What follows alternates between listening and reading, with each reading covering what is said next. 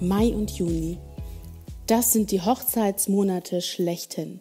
Laut einer Facebook-Umfrage vom Hochzeitsportal 24.de haben im Jahr 2019 circa 50 Prozent der Paare im Mai und Juni geheiratet. Man könnte auch sagen, es sind die Monate des Jahres zueinander. Ein Jahr, welches die Liebe füreinander zum Ausdruck bringt. Ein Jahr, das davon spricht, dass man sich dem anderen in Treue und Verlässlichkeit zuwendet und um das Wohl des anderen bemüht ist. Es ist ein Ja zu einer besonderen Beziehung. Und dieses Ja ist dabei nur der Anfang der Ehe. Es ist nicht das Ende. Es ist wie ein Startschuss in die Ehe. Und mit diesem Ja beginnt ein neuer Abschnitt der Umsetzung, des Einhaltens dieses Versprechens. Es geht darum, die Beziehung zu pflegen, sie zu intensivieren. Das kennt man. Das kennt man nicht nur aus einer Ehe, sondern auch aus Freundschaften im Allgemeinen und letztendlich aus jeder anderen Form der Beziehung. Denn all diese Beziehungen bedürfen ein Dranbleiben. Ein Dranbleiben, das nicht nur an guten Tagen, sondern auch dann, wenn Beziehung nicht so leicht von der Hand geht, feststeht. Eben ein Ja. Und so ein Ja, das ist ein Grund zum Feiern.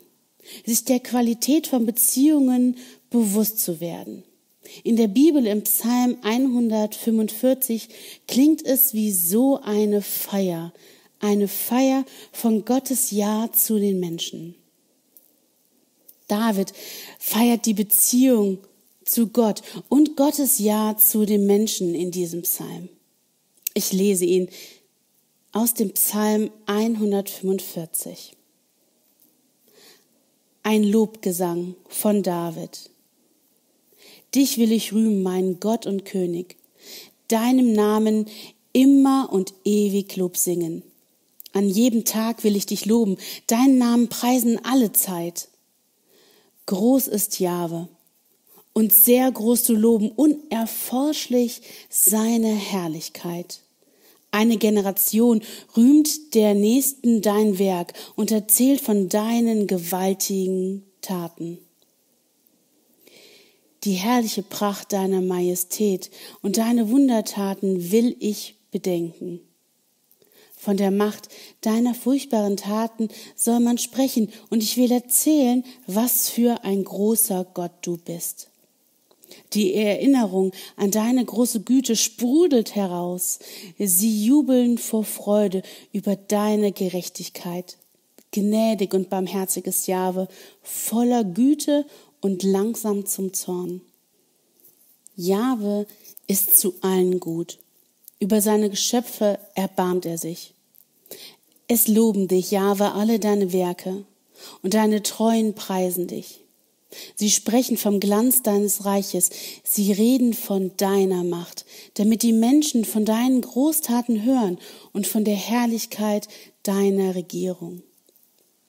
Dein Reich ist ja ein Reich aller Zeiten und deine Herrschaft hört niemals auf. Jahwe ist verlässlich in allem, was er sagt und gnädig in allem, was er tut. Jahwe hält die Hingefallenen fest und alle Gestürzten richtet er auf. Alle blicken voll Hoffnung auf dich, und du gibst ihnen Speise zur rechten Zeit. Du öffnest deine wohltätige Hand, und alles, was lebt, wird durch dich satt. Jahwe ist in allem Handeln gerecht und voller Güte in allem, was er tut. Jahwe ist allen nahe, die zu ihm rufen, alle, die dabei aufrichtig sind. Die Bitten derer, die ihn fürchten, erfüllt er. Er hört ihr Schreien und hilft. Alle, die ihn lieben, behütet Jahwe, doch alle, die ihn missachten, vernichtet er. Mein Mund soll Jahwes Ruhm verkünden, und alles, was lebt, lobt seinen heiligen Namen, für immer und für alle Zeit. So der Psalm 145 aus der Bibel. Was für ein Liebeslied. Eine wirkliche Feier. David besingt Gottes Größe. Ausschweifend in bunten Worten, sich überschlagend, preist er Gott und das, was er getan hat. Die Wiederholungen dieser Worte machen deutlich, Gottes Größe lässt sich eigentlich nicht in Worte fassen. Sie übersteigt Verstand und Herz. Ja, der Mund quillt über von dem, was in seinem Herzen ist, was sein Herz bewegt. Obwohl Gott so groß ist, viel höher steht als alle Menschen, findet seine Größe Ausdruck. Gottes Größe drückt sich nicht aus in Willkür, sondern in fürsorglicher Liebe. So beschreibt es David hier. Und diese Liebe ist erlebbar, ganz praktisch. Gottes Taten sind keine Taten jenseits des Erlebens von Menschen. David hatte Gottes Eingreifen in seinem Leben erlebt. Er hatte erlebt, wie Gott ihm in schwierigen Situationen beistand, ihm Weisheit und Kraft verlieh. Er hatte erlebt, wie er ganz praktisch versorgt wurde. David erlebte aber auch sein persönliches Scheitern, seine Schuld und wie Gott darauf reagierte. Gott kehrte nicht unter den Teppich. Nein, David musste die Konsequenzen seines Handelns tragen. Und doch erlebte er, dass Gott ihn nicht verstößt. Gott vergab ihm. Gott vergibt auch heute. Ja, Gott richtete David wieder auf. Die Beziehung blieb bestehen. Ja, sie bekommt eine neue Tiefe. Gottes Ja zu David gilt. Das bleibt. Gerade da zeigt sich Gottes Größe. In dem Ja, das bleibt. Hast du Spuren von Gottes Handeln in deinem Leben erlebt? Hast du erlebt, dass du beschenkt, bewahrt oder versorgt wurdest? Ich erlebe gerade in diesen Tagen neu, dass vieles, was für mich selbstverständlich war, im Grunde ein Geschenk ist. Ich bin beschenkt mit Menschen, mit Menschen, in denen ich auch jetzt über Telefon, Mail oder Videoanrufe in Kontakt bleiben kann. Ich bin beschenkt mit Gesundheit.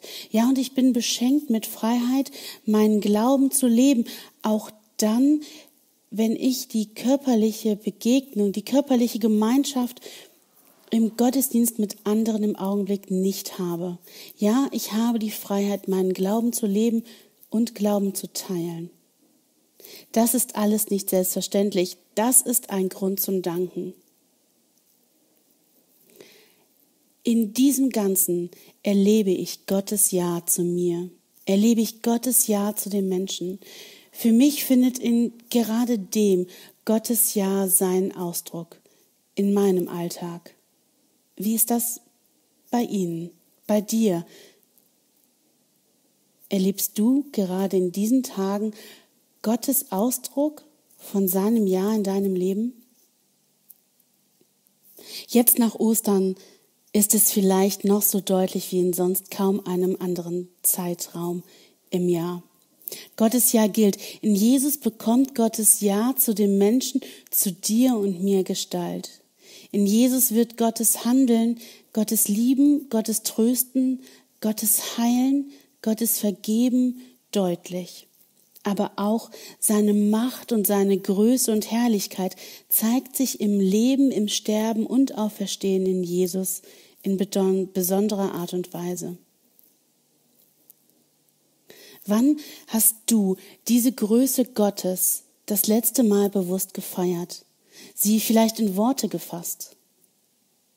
Psalmen, das sind Lieder, Lieder, die ein Ausdruck der Herzenssituation sind. Und so gibt es neben fröhlichen Lobpreisliedern auch traurige Lieder. Lieder, die Verzweiflung zum Ausdruck bringen, ja Wut. Auch das darf sein. Psalmen sind eben Herzensausdrücke. Wie steht es gerade um dein Herz? Feierst du Gottes Größe, weil du sie in deinem Leben erlebst? Ist dein Herz voller Fragen, weil Situationen, Gedanken und Sorgen dich überwältigen?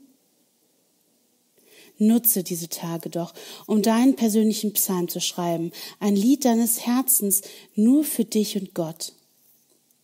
Bring das, was dich bewegt, zum Ausdruck. Dabei geht es nicht um einen perfekten Schreibstil, sondern um dein Herz. Es kann sein, dass du beim Herzen, beim Schreiben erlebt, wie dein Herz sich erinnert an das, was du Gutes mit Gott erlebt hast. Vielleicht erinnerst du dich und bekommst so neu Dankbarkeit für das, was Gott in deinem Leben getan hat. Wie er dir treu zur Seite steht, wie sein Ja zu deinem Leben gilt. Es kann aber auch sein, dass du neu ins Nachdenken kommst über dein persönliches Scheitern, deine Schuld. Dann darfst du wissen, Gott ist treu, er vergibt. Ja, David hatte es erlebt und Gott spricht uns das immer wieder zu. Dass seine Vergebung gilt, dass sein Ja gilt und dass Schuld mit Jesus kein Problem mehr ist, sondern dass Jesus die Möglichkeit gegeben hat, dass Schuld vergeben werden kann. Gottes Ja zu dir, zu uns, zu seinen Geschöpfen steht. Das können wir feiern. Und auch, aber eben nicht nur, jetzt in dieser Zeit und dann in den Hochzeitsmonaten Mai und Juni.